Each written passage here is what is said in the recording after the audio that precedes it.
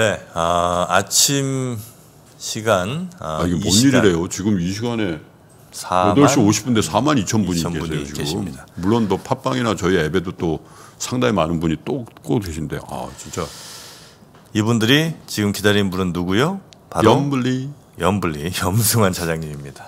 염승환 차장님 어서. 오십시오. 네, 안녕하세요. 네. 자, 염승환 차장님과 함께 오늘 아, 개장 상황까지 한번 쭉 들어보도록 하겠습니다. 오늘도 중요한 이슈들이 좀 많이 있었죠? 네네. 일단 그, 그 석유 좀 방금 이제 오셨으니까 공교롭게도 제가 그냥 석유 좀 이렇게 자료 하나 가져온 게 있는데, 네. 그러니까 이제 많은 분들이 요새 너무 막 이제 석유 시대 끝나는 거 아니냐, 막 네. 보고서도 많이 나오잖아요. 뭐 네. 이제 탄소도 탄소 배출도 줄여야 되기 때문에 근데 이제 그게 아니다 누구 맘대로 석유 시대가 종말하느냐 음. 이런 좀 기사가 나왔습니다 이거 이제 엑손모빌의 전략이라고 하더라고요 그러니까 예. 브리티시 페트롤리움이라고 이제 유럽의 오일 메이저는 아예 정체성을 이제 바꾸기로 했다고 예전부터 네. 그렇죠, 좀. 말씀드렸죠. 예. 석유 줄이고 이제 매년 5조 5천억을 이제 신재생 에너지 쪽으로 투자를 하기로 결정했는데 네. 엑손모빌은 어쨌든 석유 사업에 계속 집중하겠다 CEO가 어. 집중적으로 이제 언급을 했고 여기에 관련해서 이제 한국 석유공사의 그 최지훈 과장이란 분이 이 보고서를 하나 쓴 게 있어요. 석유 공사에서 네, 석유공사에 네. 그분이 쓴 건데 아, 저도 이거 읽어보니까 뭐 이게 맞는지는 제가 모르겠지만 약간 이제 저도 너무 막 이제 석유가 끝나가는 거 아니냐 그런 좀 고정관념이 있었는데 네. 좀 다시 한번 좀 생각하는 계기가 돼서 좀 소개해드리면 일단 이제 그 석유 수요는 이제 그동안 2000년부터 20년 동안 네. 한30% 증가를 했는데 여러분도 아시겠지만 수요는 증가를 했는데 가격 변동은 엄청났잖아요. 그렇죠. 100달러 갔다가 네네네. 막 가- 그때 마이너스 그 가기도 네. 하고. 근데 수요가 준건준건 아니거든요. 그러니까 수요가 뭐 이렇게 뭐 갑자기 늘었다 뭐 이렇게 될 수는 있는데 평균적으로 봤을 때는 연평균 1.2% 정도 이게 수요는 꾸준하게 증가를 했다고 네, 합니다. 네. 예. 그러니까 이게 왜 그러냐면은 석유의 그 수요와 가격이 좀 이렇게 비탄력적으로 움직이는 이유가 석유는 무조건 써야 되기 때문에 필수제이기 때문에 네. 약간의 가격 왜곡은 있을 수 있어도 그래서 우리가 만약에 지금 인- 인류가 완전히 탈석유를 달성을 하려면 이 모든 게 뭐 지금 여기 방송도 마찬가지지만 우리 옷도 다 벗어야 되고 보고서에 그렇게 쓰였대요. 모든 게 다 석유 제품이잖아요, 사실은. 아, 이게 갑자기 자극적으로 들려요. 아니 뭐 청취율 때문에 왜 그러시는 거예요? 안 그래도 뭐, 많이 보고 계십니다. 아니, 네, 50대 알겠습니다. 후반 분들은 옷을 벗는다라는 걸 다른 의미로 봤습니다. 자리를 내놔야 된다. 하긴 여기 있는 모든 게 다 석유화. 그렇지. 그죠? 네. 다 석유죠, 사실은. 맞아요. 예. 다 석유예요, 다 석유. 예. 사실. 근데 이거를 마치 이제 요즘에 너무 막 그냥 이게 다 없어지는 것처럼 금방이라도 얘기는 나오는데 그게 좀 결코 쉽진 않다. 네. 그리고 그 이제 엑소모빌 그 CEO도 그렇게 얘기를 했다고 합니다. 특히 2040년까지 에너지 수요는 늘 수밖에 없다 계속. 왜냐하면 중산층 인구는 계속 늘어나니까 네. 그 사람들 에너지가 필요한데 네. 근데 거기서 이제 신재생 에너지는 당연히 늘 수 있는데 이제 여기서 국제 에너지국에서 그 예측을 한 걸로는 신재생 에너지 비율이 현재 14.1%거든요. 전체에서 차지하는 게. 네네. 근데 이게 진짜 이렇게 느린 속도인지는 제가 뭐 확인을 해봐야 나중에 뭐 보셔야 되겠지만 2040년까지 겨우 20.7%까지밖에 증가를 안 한대요. 에너지 네. 부분에서도 신재생 에너지가 차지하는 게. 그러니까 지금 20년 남았는데 6% 증가하는 거죠, 사실상. 그래요? 그러니까 우리는 그냥 당장이라도 50% 60% 에너지 신재생 에너지가 30년 넘으면 그렇게 될 거라고 생각하는데 그 국제 에너지 기구는 예측을 이렇게 했다고 아. 합니다. 근데 거기 이제 근거까지는 안 나왔는데 네. 일단 어쨌든 지금 그런 상황이고 그리고 석유가 수요가 줄 수가 없는 게 일단 지금 우리 뭐 선진국이나 이런 쪽이 아니라 인구가 늘어나고 있는 쪽이 저기 그 개발도상국 있잖아요. 아프리카. 네. 그다음에 아시아 산유국 음. 이런 쪽은 인구가 계속 늘어난대요. 그러면 이- 이쪽에서 뭐 바로 신재생으로 가는 게 아니라 다 석유를 이용한다는 거죠. 일단은. 네. 그래서 석유 시대가 그냥 뭐 바로 저무는 게 아니라 그러니까 미국의 정권도 바뀌고 뭐 이런 우려들은 있지만 석유는 우리 인류 삶에서 벗어나더라도 굉장히 네. 천천히 벗어나지 않을까. 뭐 그런 좀 보고서입니다. 네, 그래서 아직은 신재생 에너지 영향이 좀 아직까지는 제한적이고 네. 인구 증가 이런 걸 고려했을 때 2040년까지는 그래도 석유는 증가하지 않을까 이런 좀 보고서고 그래서 엑소모빌은 어쨌든 석유 계속 하겠다 네. BP는 우리는 석유 이제 그만 적겠다 이런 싸움인데 음. 이제 양사가 뭐 좀 승부를 좀 펼치는데 한번 좀 장기간 지켜봐야 되는 거 아니냐 음. 이런 좀 내용입니다 그래서 석유가 뭐 저도 사실은 이제 이 내용 읽기 전까지만 해도 아 석유 이제 거의 끝나가는구나. 저도 이제 곤용 그렇게 계속 생각은 하고 있었는데 네. 언젠간 없어지겠죠. 하기야 뭐 예. 탈석탄, 탈석유 뭐 뭐 이런 이런 네. 용어들을 많이 워낙 쓰다 보니까 그죠? 예. 근데 생각하는 것보다 우리 삶에 이게 모든 석유 물질을 지금 당장은 대체할 수 없기 때문에 네. 너무 이제 신재생 에너지도 물론 좋지만 이런 이제 국영재 산업에서 이게 뭐 네. 없어진다라고까지 극단적으로 보실 필요는 네. 없는 것 같습니다. 이제 거기에 맞물려서 그 SK증권의 손재호 연구님이 이제 쓰신 자료가 하나 있는데 그 이제 유가 관련해 가지고 이번에 그 어떻게 보면 오펙 회의가 끝났잖아요. 네. 끝났는데 거기서 왜 러시아가 끝까지 증산을 고집했을까? 왜냐하면 러시아도 그 유가 이게 감산하는 게 좋잖아요. 유가 올라가면 사실상 이게 원유 의존도가 너무나 높은 국가니까. 네. 근데 그 이유가 뭐냐면은 결국엔 미국 때문이라고 합니다. 그러니까 미국이 지금 미국은 어차피 오펙 그쪽하고는 상관이 없기 때문에 근데 미국이 코로나 당시에 산유량을 조절을 했어요. 미국도 1,300만 배럴에서 하루에 970만 배럴로 줄였는데 근데 다시 지금 산유량이 1,110만 배럴까지 늘어났다고 합니다. 네. 그러니까 미국은 뭐 강제성은 없으니까요. 근데 이걸 만약에 그 감산을 계속하면 예. 사우디나 러시아는 감산이 들어가는데 미국은 아무 상관이 없는 거예요. 그렇죠. 미국 좋은 일만 시킨다는 거죠. 어. 어. 아, 그러니까 우리는 이렇게 노력을 하는데 미국은 아무 상관이 없는데 미국의 이 회사들은 감산 안 하고 증산을 해도 아무런 뭐 터치할 게 없어요. 네. 근데 유가는 올라가니까 미국 업체들 좋은 일만 시킨다. 그래서 러시아가 좀 약간 좀 뿔이 난것 같아요. 그것 때문에. 그래서 러시아가 끝까지 증산을 좀 고집했다. 네. 그래서 앞으로 유가는 러시아의 이런 좀 입장을 좀 계속 우리가 본다면 그 SK증권에서 10년 저유가를 계속 좀 얘기를 하고 있나 봐요. 10년 동안은 유가가 크게 가기는 어렵다. 음. 그러니까 뭐 급 나간다는 게 아니라 네. 장기간 저유가다. 그러니까 이 논리에 의해서 유가의 뭐 엄청난 상승이 나오기는 아직은 좀 어렵다. 네. 그런 좀 내용은 있으니까 네. 좀 참고하시면 되겠고 지금 아 시간이 한 4분 남았는데 그 JP 모건에서 이거 참 그 되게 좀 재밌는 보고서를 좀 썼더라고요. 그러니까 2021년 한국 코스피 뭐 코스피에 올라가는 거는 많- 많이들 이제 동의하실 거예요. 3,200까지 네. 올라갈 수 있다고 썼고 우리 국내 증권사 최고 전망치가 대신증권이 3,080포인트입니다. 3080이 그 최고고. 이경민 연구원님이 네. 예. 그래서 그게 제일 높거든요 현재까지. 네. 는 근데 이제 JP 모건은 골드만삭스가 2,800인데 어쨌든 3,200까지 했고 내년 영업이익이 무려 56% 증가할 것으로. JP 모간의 우리 지수 최고점이 3200 포인트라고. 네, JP 모건이. 그러니까 현재 최고가 대신증권이거든요. 그거 이제 넘어서 3,200까지 어제 뉴스가 나왔고 특히 뭐 ESG 확대도 긍정적이고 내년 1월에 삼성전자가 주주환원 정책 발표할 텐데 거기도 좋을 것 같고 그 JP 모간 그 저기 혹시 애널리스트 이름 나와 있습니까? 그거는 모르겠어요. 전화 좀 해봐요. 기사 한번 데려오시려고. 3200 간다는데 그럼 네. 전화해서 예?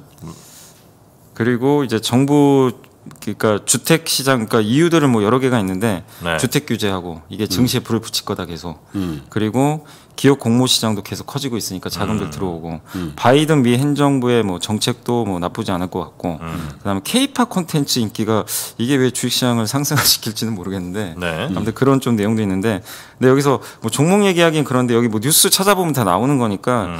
거기서 이제 종목을 사 그러니까 추천주하고 피할 주식을 언급을 해버렸어요 아예. 글쎄 저 박병창 부장 시간에도 네. 그 얘기를 좀 장기 네. 시간 했어요. 그러니까 여기서 뭐 이게 꼭 맞는다 안 맞는다 뭐 그런 좀 그 얘기를 좀 하긴 어렵지만 네. 어쨌든 여러분들이 한번 이런 좀 기사나 한번 찾아보셔가지고 참고나 한번 해보시면 좀 좋을 그것 같습니다. 참고만 하세요. 예, 그, 그게, 그, 그 예. 친구들이 얘기하는 건 아, 무조건 이거 내년에 안 돼. 그렇게 이렇게 예. 해놓고 그 친구들이 얘기하는 거 무조건 사- 절대 그렇게 하면 안 돼요, 여러분. 음, 왜냐면 제가 그래서 아침에도 하나씩 한 시간 전에도 그 외국계 금융회사 그것도 good name이라고 하거든요, 우리가. 네. good name이라고 하는 게 이제 큰 회사들 중에 정평이 있는 회사들, 골드만삭스, 모간스탠리, JP 모간 이런 데들.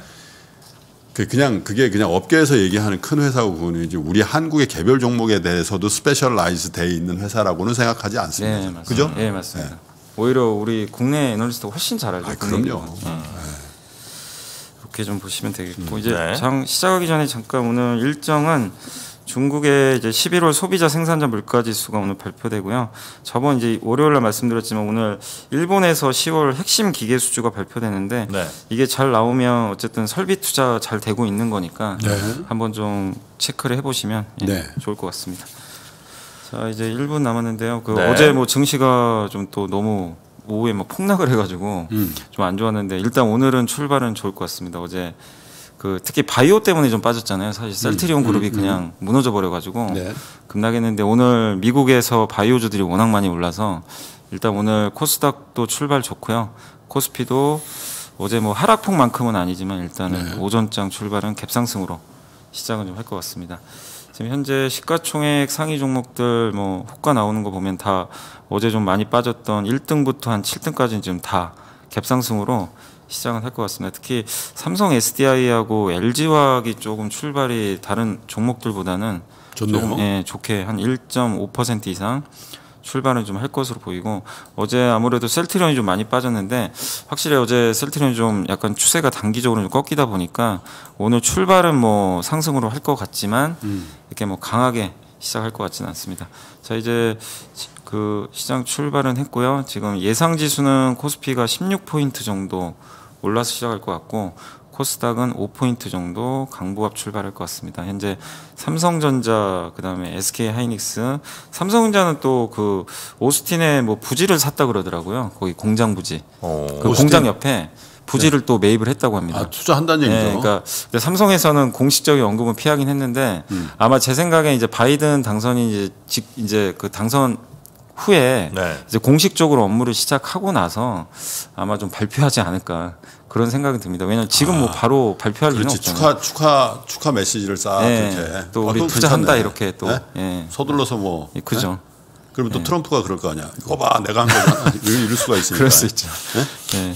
그래서 일단 부지만 좀 사놓고 네. 좀 투자 이제 발표 시기는 좀 저울질할 것 같습니다. 어쨌든 이거는 반도체 업종한테는 좀 좋은 뉴스다라고 좀 보시면 좋을 것 같고요. 그리고 오늘 이제 시총 상위주 중에서는 그 신풍제약이 한 3%로 가장 많이 올랐고 이제 유상증자 그 권리락 있었던 포스코 케미칼이 한 2.4%. 그다음에 현대제철, 뭐 두산피오셀 이런 기업도 올라가고 어제 LG전자가 좀 많이 올랐잖아요. 뭐 ODM 그 스마트폰 ODM 쪽으로 네, 네, 돌려가지고 네, 네. 비용 절감하겠다고. 음. 어쨌든 이제 그게 시장에서 좀 먹힌 것 같습니다. 그래서 오늘 오늘도 한 2% 정도 반등하고 있고 그다음에 예. 삼성 SDI 뭐 SK 같은 기업도 좀 오르고 있습니다. 하락하는 섹터는 일단 오늘 금융주는 좀 빠지고 있습니다. KB금융, 우리금융주도 좀 빠지고 있고 그다음에 음식료에서 CJ 제일제당도 약간은 좀 하락세를 좀 보이고 있는 것 같습니다. 그리고 그 외에 이제 코스피 쪽에서는 오늘 그 이제 콜드체인 관련주죠. 동아소시홀딩스가 한3% 올랐고요. CS 윈드, 신재생 에너지 2%. 신재생 에너지주들이 뭐 지난주까지는 좀 안 좋았는데 네. 이번 주 들어와서는 조금 회복되고 있는 것 같아요. 그리고 CJ, CGV 같은 이제 영화 관련주도 오늘 오랜만에 올랐고 그다음에 대한유화 같은 이제 석유화학 기업도 일단 1% 이상 좀 반등하고 있습니다. 그리고 약간 하락하는 기업은 금호타이어 또 롯데 하이마트, 뭐 쿠쿠홈시스 같은 기업들인데 그냥 뭐 특별한 뉴스보다는 그냥 개별 기업들 약간 빠지고 있다 이렇게 보시면 되겠고요. 코스닥은 일단 오늘 그 셀트리온이 어제 엄청난 좀 폭락을 기록했는데 네. 오늘 출발은 좋습니다. 일단은 4.8%, 그다음에 셀트리온 제약이 3%. 그래서 오늘 코스닥 시장 좀 반등을 이끌고 있다. 4.8% 셀트리온 헬스케어 말씀하시는 거죠? 예, 헬스케어가 지금 예. 5% 정도 반등폭 키우고 네. 있습니다. 사실 이게 좀 너무나 많이 올라서 어제는 좀 빠졌다고 보시는 게 좋을 것 같아요. 뭐 특별한 악재보다는. 음. 그리고 통신 장비 회사들도 요새 좀 주가 흐름 좋은데 오늘도 KMW가 한 1.5%. 그래서 주로 보면 지금 그 5G 통신 장비하고 그 다음에 바이오 기업들 있잖아요. 어제 네. 많이 빠졌던 이쪽이 오늘 오전장은 좀 주도를 하고 있다. 어제 어제 장중에 외국인 그 기관 그 매수 매도가 어떻게 됐었었어요? 어제는 외국인이 엄청나게 팔아버렸죠. 엄청나게 기관도 팔았죠. 팔았어요. 팔긴 팔았는데 기관이 마치 좀 네. 왜소해 보일 정도로 네. 외국인이 좀 많이 팔았고 우리 개인 투자자들이 개인이 다? 받아갔습니다. 네, 개인들이 받아갔고 외국인이 근데 판 거를 좀 종합을 해보면 네. 그게 우리나라 전체를 좀 사실 팔았다기보다는 예. 제가 좀 적어왔는데 그게 이제 어제 8,456억을 던졌거든요. 네. 근데 그 중에 보면 외국인들이 판 게 삼성전자하고 우선주 합쳐서 한 거의 3천억 예. 팔았고 예. 셀트리온이 한 1,500억 팔았고요. 예. 현대차가 1,000억, 그다음에 삼성바이오 한 6, 700억 팔았어요. 그러니까 이거 다 합치면 한 7천억 돼요. 음. 그럼 나머지 한 1,500억 집중- 정도는 집중했네요, 예. 그냥 이 대형주 최근에 강했던 거 있죠. 네. 약간 차익 실현한 것 같아요. 네. 그래서 그래서 보니까. 내일 내일이죠. 내일 모레인가요? 내일 내 옵션 만기, 내일이죠. 내일 선물 옵션. 동시 만기죠. 예. 그거하고의 연관성은 어떻게 된다고 보세요? 그것도 좀 있다고 좀 봐야 될 것 같아요. 지금 최근에 워낙 이쪽으로 이 선물 옵션 해가지고 예. 좀 프로그램 매수도 많이 들어왔거든요. 그러니까 이제 그거랑 맞물려서 그게 11월 초부터 들어왔어요, 사실상. 네. 그러니까 약간 이제 옵션 만기도 다가오다 보니까 네. 차익 욕구를 좀 불러 일으킨 것 같아요. 예. 그래서 약간 이제 그런 변동성이 생겼다. 그리고 코스닥도 비슷합니다. 어제 코스닥도 1,200억을 던졌는데 네. 그 중에 800억을 셀트리온 헬스케어 하나만 던진 거예요. 네. 그 정도로 그냥 집중해 버렸어요, 그냥 외국인들이. 그러니까 이거는 나빠서라기보다는 그냥 팔고 싶었다 좀. 지수 지수 지수 영향력 네, 지수 영향력 본 거네요, 그죠? 네. 예. 그래서 그런 좀 그래서 이게 좀 장기화될 것 같지는 않습니다. 외국인들 매도가 오케이. 예, 이렇게 보시는 게 좋을 것 같고 그다음에 코스닥 쪽 종목들 조금 더 말씀을 드리면 아까 이제 오늘 좀 바이오 쪽 분위기들은 좋고 그다음에 뭐 다만 이제 진단 키트 쪽은 조금 빠지는 것 같고요. 네. 그다음에 최근에 강했던 뭐 게임주도 약간은 좀 밀리는 것 같고 그다음에 어제 좀 제일 화제가 됐던 게 그 카페 24라고 예. 이 기업이 이제 그 페이스북하고 네. 페이스북에서도 이제 그 인터넷 쇼핑을 할 수 있는 그 기능이 아, 있잖아요. 네네네네. 그걸 카페 24가 한다고 그러더라고요. 그래서 네. 어제 그 뉴스가 나와가지고 장중에 상한가에 갔었는데 오늘은 일단 조금 빠지고 있습니다. 그래서 요새 어쨌든 이제 그런 좀 약간의 이벤트가 좀 생기면 워낙 유동성이 풍부하니까 이게 그냥 10%갈 종목들이 막 그냥 상한가까지 가는 그런 흐름들이 좀 계속 나오는 것 같습니다. 그리고 지수 다시 한 번 말씀드리면 오늘 코스피 일단 좀 안정감을 찾고 있습니다. 네. 2,718포인트 0.63% 상승하고 있고요. 코스닥은 913포인트 0.69% 정도 상승을 하고 있습니다. 오늘 일단 오늘도 일단 외국인 기관은 조금 매도는 하고 있습니다. 코스피, 코스닥 다 매도고 개인 투자자들만 일단 현재까지는 오전장에 한 1,400억 정도 합쳐서 매수를 해주고 있습니다. 그리고 섹터 쪽으로는 일단 코로나19 음압병실 관련주가 좀 강한 편이고요. 그다음에 이 자율주행 관련해 가지고 요새 뭐 얘기들 많이 나오잖아요. 현대차도 뭐 자율주행 계속 투자하고 네. 그러면서 좀 이쪽 관련된 차량용 블랙박스 관련 기업들이 오늘 조금 상승하는 게 약간 특징적이고요. 그다음에 최근에 영상 콘텐츠 관련주들이 되게 좀 뜨겁더라고요. 그 이제 어제 같은 경우도 뭐 A 스토리나 뭐 아니면 스튜디오 드래곤이나 이 드라마 제작사들이 갑자기 막 급등도 하긴 했는데 그거 관련해 가지고 오늘은 이제 그쪽에 관련된 섹터들이 오늘도 한 번 더 반등하고 있고 그 다음에 2차 전지 업종도 오늘은 좀 분위기가 좋고 갤럭시 부품주도 오늘 좀 약간은 반등을 해주고 있는 것 같습니다. 그리고 하락하는 섹터 쪽으로는 모더나 관련주는 오늘 좀 차익 실현 나오는 것 같아요. 네. 모더나 관련주 좀 빠지고 비트코인 관련주 그 다음에 제지 업종, 그러니까 뭐 일자리 관련주, 클라우드 컴퓨팅, 그러니까 이런 거 다 종합해 보면 네. 코로나 19 좀 수혜 기업들은 약간 오늘 오전장에는 좀 차익 매물로 빠지고 있다. 이렇게 보시면 되겠고 그다음에 이제 항상 좀 여러분들이 보셔야 될게 상승 종목수와 하락 종목수 보면 그날 분위기를 알 수가 있거든요. 그렇죠. 근데 오늘은 상승 종목이 압도적으로 많습니다. 어. 그러니까 지금 코스피가 600개, 코스닥은 무려 900개가 오르고 있어요. 하락 종목이 200개밖에 안 돼요. 네, 그러니까 네, 오늘은 그러니까 그동안 너무나 막 쏠림이 심했는데 어제 급락장이 나오기도 했지만 어제부터 시장 분위기 좀 바뀐 것 같아요. 이게 온기가 좀 퍼져가는 네. 약간 이제 중소형주도 소외받던 종목들도 약간씩은 좀 이제 그 올라가는 그런 흐름들이 좀 나오고 있다. 이렇게 시장 보시면 좋을 것 같습니다. 네. 네. 자, 그러면 다시 어, 준비해 주셨던 어, 체크할 내용들 네. 짚어주시죠. 자 이제 증권사 보고서 딱 오늘 두 개 말씀드리면 하나금융투자의 그 윤승현 애널리스트 분이 쓰신 건데 이제 네. 요거 이제 그냥 데이터 쓰신 거예요. 그 요새 좀 건설주 좋다는 얘기도 많이 나오잖아요. 근데 10월달 누적 국내 건설 수주가 이제 19% 작년보다 좀 증가했다라는 그런 내용이 있고 그 중에 이제 대부분이 뭐냐면은 가장 많이 증가한 게 확실히 그 주거용입니다. 그래서 주택 쪽은 좋은 것 같아요. 주거용이 69.5조 원인데 무려 49%나 작년보다 증가를 한 것으로 좀 나와 있습니다.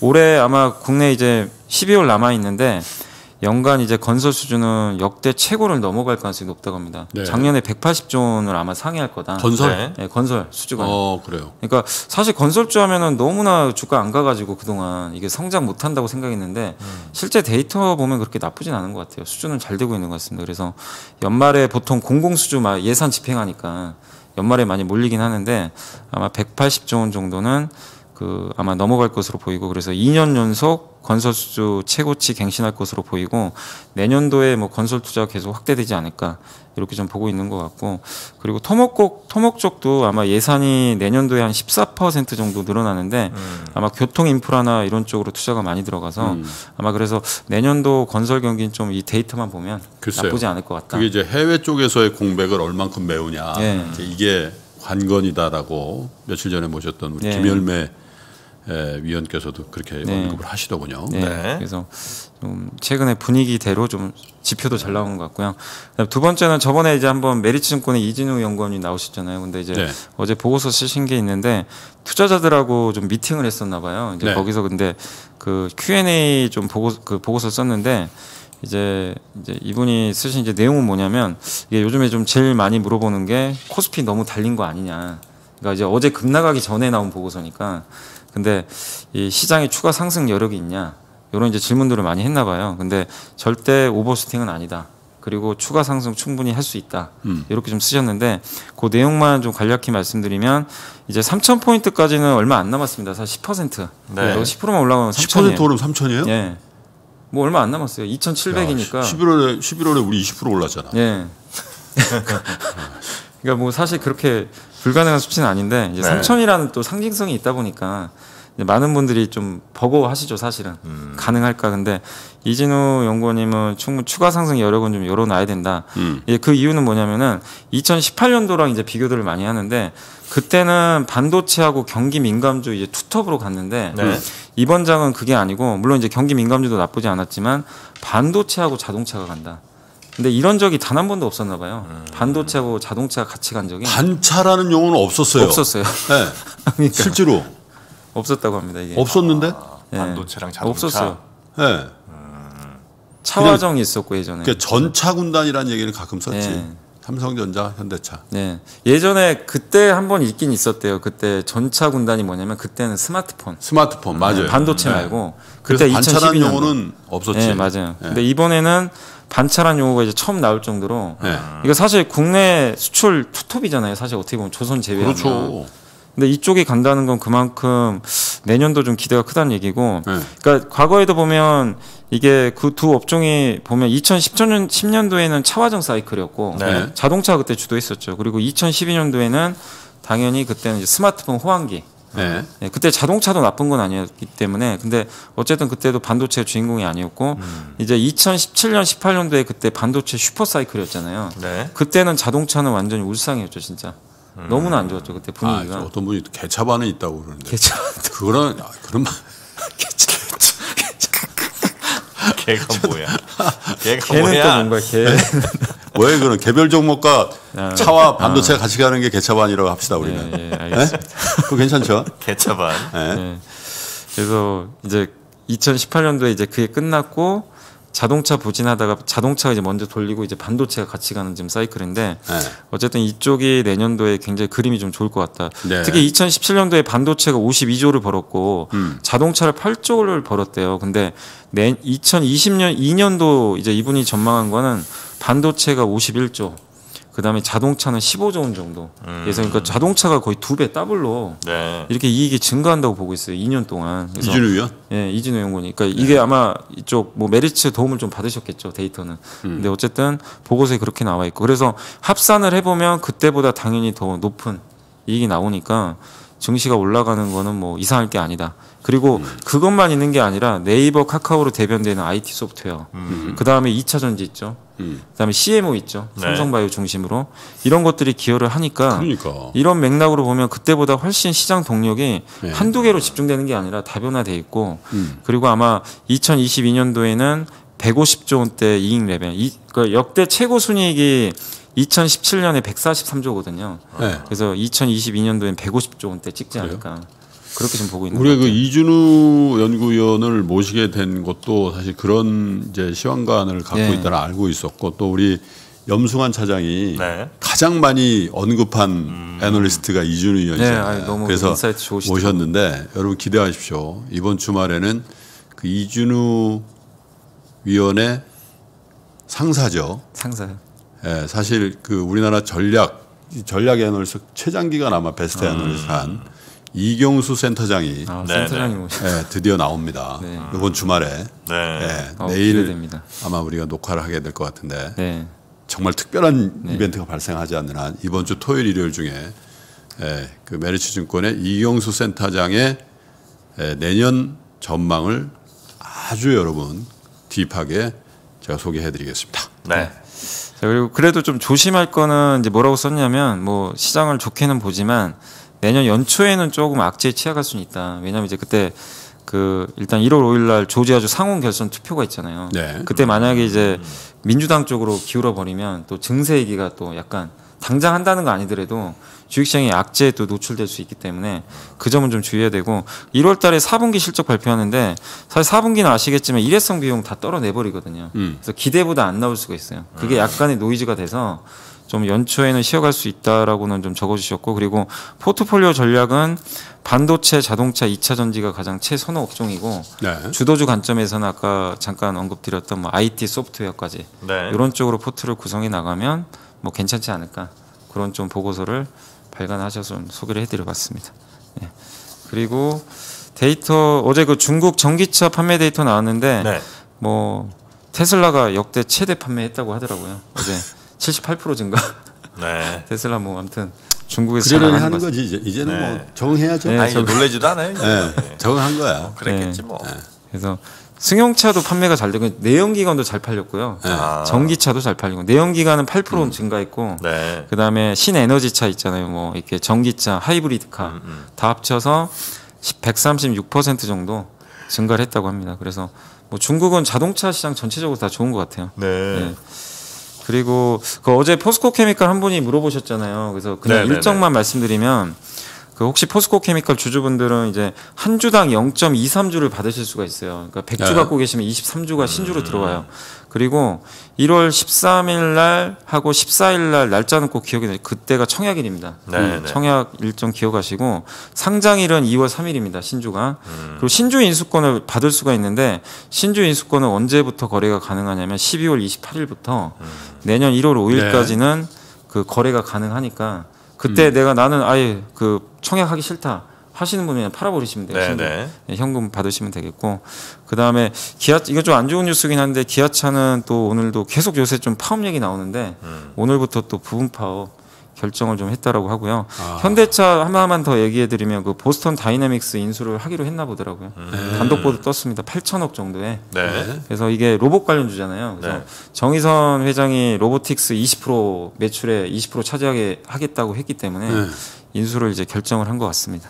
이렇게 뭐 그게 그게 적정한 가격인지 이런 걸 여부를 떠나서 네. 우리 그 대기업들이 글로벌 M&A 시장에서 뭔가 그 주목받는 회사들 또 fab들을 사는 거는 예. 사실 주가 측면이 굉장히 좋은 네, 거죠. 그죠. 사실. 그러니까 네. 어차피 내연기관이나 이런 것만 해가지고는 성장의 한계가 있으니까 그러니까. 어떻게 보면 이제 multiple이 높일 수 있는 좀 원인이 될 그렇죠. 수 지난번에 있을 것 하이닉스, 하이닉스 상승세도 사실은 에, 중국의 에, 인텔 fab을 맞습니다. 예, 살때 낸드. 그때부터 확 시동을 예. 걸잖아요. 네, 네, 네. 자, 그리고 오늘 뭐 일정 있나요? 같아요. 일정은 아까 아, 얘기했습니다. 말씀 일본의 드리셨고. 그 기계 네. 수주만 좀 체크하시면 되겠고 기계 수주 오늘 체크. 다시 뭐 장만 말씀드리면 오늘은 어제 충격에서 그러니까 확실히 강세장 같아요. 이렇게 네. 보통 약세장 같은 경우는 그렇게 무너지면 연속 충격이 나오는데 오늘 지금 아직 뭐 17분밖에 안 지났지만 지수가 1% 그냥 올라 버렸거든요. 지수 네. 자체를 보면 그리고 음. 아까 말씀드린 대로 상승 종목도 압도적으로 많고 그래서 확실히 강세장 분위기는 아직 끝난 것 같지는 개인 않습니다. 투자자 여러분들이 한 1조 정도 사는 다음 날은 꼭 올랐으면 좋겠어요. 예. 지금까지 그래 왔어요. 네, 오늘도 네, 네, 마찬가지. 그죠? 예. 네. 자, 그러면 오늘 우리 연불리 염승환 차장님은 아, 여기서 이제 보내드릴까요? 그죠? 다시 네. 또아 그리고 어제 사실 네. 그 인터파크 가가지고 네. 좀 아쉽게도 이제 그 코로나 때문에 그 음. 오지는 못하셨어요. 그 당첨되신 분들이. 네. 그래서 그냥 아. 이제 동영상만 찍고 왔습니다. 동영상만? 김한준 아 저기 어제 저기 미스터 마켓. 네, 미스터 마켓. 네, 조금 기다려 보세요. 우리 3프로 TV에서 또 에, 이 저자분들을 모셔서 책에서 못다 한 얘기 예. 그리고 내년 시장에 대해서 활자화할 수 없는 그찐 예.